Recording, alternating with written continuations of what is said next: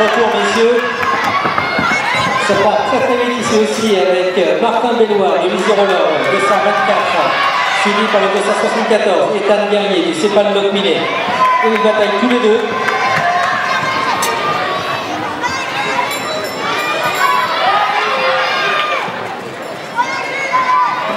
Est-ce qu'on maintient la place Toujours le 224 en tête?